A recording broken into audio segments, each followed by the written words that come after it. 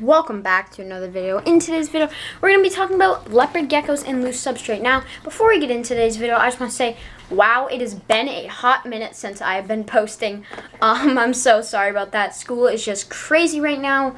I've also been trying to work on all the animals enclosures, which we'll get to probably at the end, a bit of updates. But it's just been like so hectic, I'm super, super sorry for that. You guys know I rescued that hermit crab in the last video. Been trying to get his setup perfected. Um, he, uh, he will be doing a, we'll be doing a welcoming video for him soon called like meet and then his name. So don't worry about that. Um, now let's get into today's topic. So, yes, I am using notes. I wrote these notes handwritten on the Notes app on my phone, and I will be referring to them because I want to make sure the information for you guys is right. Now, I really hope my camera is recording because that's would really, really stink if it's not. So, I'm going to check if it's recording, and I'll um, be back to you guys. Turns out it was recording. Just wanted to make sure. Um, if you're new to my channel, and also thank you to all the new people who subscribe. If you're new, um, consider subscribing. My room is like super humid right now. I don't know why. It's probably because like I got like one heat lamp, two heat lamps, and then all these LED lights going. But it's like so humid in here. I'm actually gonna open a window when I'm done with this video. Um, so yeah, let's get into this video. So. Now, like I before we get in like really in depth, this is all my opinion, and now let's get into it. So, um, obviously, leopard gecko substrates um, should be safe for geckos to eat food off of and lay on there and easy to clean up and replace for the owners, you or me. Sorry, I'm relying on the sunlight, so I really hope it's like good. Um, so it should be easy and cost effective. So you don't want it to be too expensive, and it should be easy for you, the owner, to keep up with it and uptake it. And also, sorry if you see a bruise my arm, I just got shot.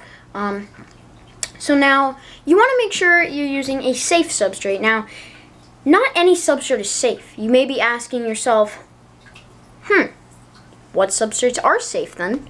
And I'm going to get to that in a second, but now we're going to talk about some substrates, in my opinion, that are not safe. Now, this part is my opinion, but some of the parts are facts. So I'll let you know when there's a fact coming up. Now, um, you're you when you're using, I'm gonna by the way put some b-roll of my leopard gecko tank while I'm talking. So I just want to let you know if you're sensitive there will be a flashing of the b-roll. Um now some substrates I would recommend staying away from is definitely sand. Um I'll pop up a picture um of what a leopard gecko's actual environment should look like in the wild. They have arid grasslands. You can see there's tons of rocks and there's it's like a plain. So they they have mixed substrate. It's mostly like sand mixed with a little bit of dirt, mixed with some like mulch kind of stuff. That's why um, I made the bioactive terrarium mix. I will definitely do a video on that soon so you guys can see. Um, now, the reason I'm saying stay away from these is number one, sand doesn't hold any humidity, which leopard geckos need when they're about to shed. You want a humidity spike to go up so they actually can shed properly. Um, and also, when they're about to shed, like I said, you want to spike. And walnut shells and sand can actually cause impaction. Now, if you don't know what impaction is, impaction is pretty much when a reptile or an animal cannot pass this certain thing through their digestive system. Now, this can be anything from like clothes or something as simple as a rock or even a substrate, even like a bit of sand because sand is very quartz. And same with walnut shells, and they cannot pass through.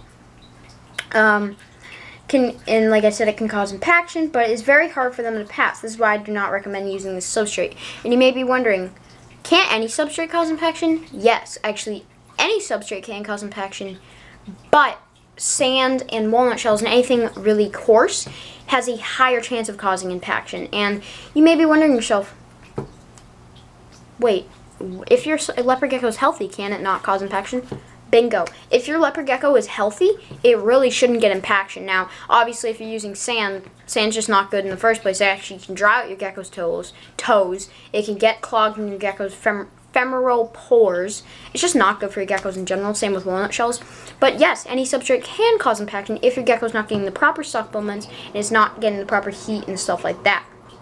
Now, this is a risk I'm willing to take by using my not my substrate. Again, I'll pop a picture right now of another picture of an arid grassland. This is what they should, this is what we're trying to mimic um, in captivity. Now, at this point, you're probably wondering, then what is a safe substrate? Like, you're telling me my zoo, which is my YouTube name, all these unsafe and reasons why, which is great. But now you're probably wondering, what is a safe substrate? So these are just my opinions for safe substrates. There's also a ton and tons of other safe substrates. If you want to learn some safe substrates, uh, can't speak, you can just Google some and others like that. So now, like I said, let's just talk about some something first. You don't have to use the substrate like I'm saying. It's just proven to reduce boredom in captivity. It's proven that leopard geckos will dig and stuff like that. It's just proven um, this is a fact that they will dig and they will use the substrate. They will utilize it. It will help them with boredom, not be bored, stuff like that. So um, again, you don't have to use the substrate. It's just recommended. And if you do tend to use it, I'm trying to tell you the benefits and the cons of using substrate. So, and like I also said, it's proven to increase mental stimulation. So now some substrates you can use. You can use Arcadia Earth Mix Arid if you're in the UK, or I don't know if people in the US like me can get it, but you can use Arcadia Earth Mix Arid. You can use the Bio Dude substrate if you're in the US. They have, um, it's called the Terra Firma. Um, you can use that. I used to use that. Now I use my own substrate. You can use, um, I will be posting a video in a couple days of my substrate mix. So you can definitely go off of that if you want. My two substrate mix coming to store soon. Joking. Um, which works really well.